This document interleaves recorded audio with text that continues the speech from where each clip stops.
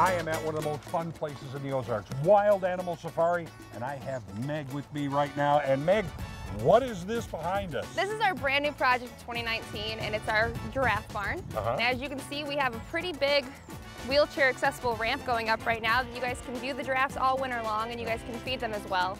Um, right now, the floors are all heated, the walls are all heated, so they're living a Oh, pretty good life. These guys are kings now. They live better than we do. They definitely do. Now, the, the viewing uh, platform, not finished yet, so you're not doing the viewing at this time. Not yet, but it will be coming very soon. Okay. And this is going to be a great way to see the giraffe. Yes, it is. Best part of Wild Animal Safari. Yeah, it is. I mean, a lot of people, they just love to see the giraffes, and this is going to be a great way you can do it. Yes, it is. Sound great. Meg, what are your hours? How's it going right now? Uh, 10 to 5 right now, every day but Christmas. All right, come out and see them. Wild Animal Safari. Meg's here too.